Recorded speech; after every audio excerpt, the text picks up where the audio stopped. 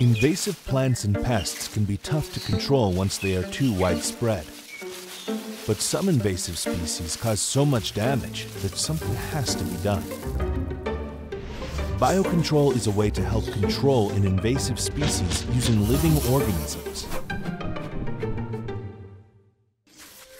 In the past, biocontrol may have been seen as risky, likely because in 1883, mongoose were brought to Hawaii by sugar plantations to control rats. But back then, there were no laws to control imports, nor any requirements for testing potential impacts. So over the years, new laws helped make biocontrol safer and more targeted.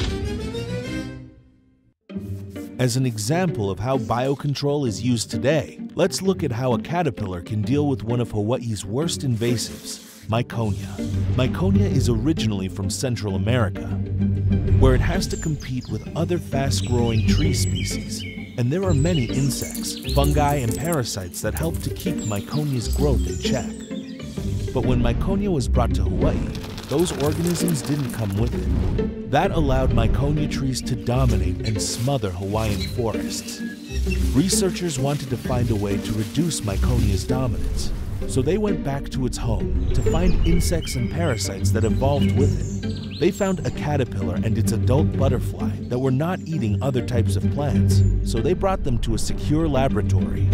They were placed in cages with a range of plants they might come across in Hawaii.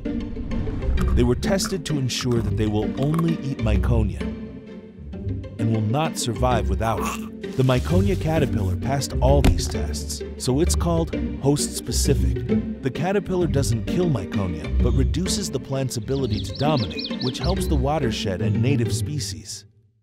Since 1975, more than 50 host-specific biocontrols have been reunited with their invasive species hosts, bringing balance without causing impacts to other species. Biocontrol isn't always the solution, but when done right, can provide long-term, cost-effective, and natural control. A biocontrol has even saved our native wili trees from extinction. To learn more about biocontrol in Hawaii, visit biocontrolhawaii.org.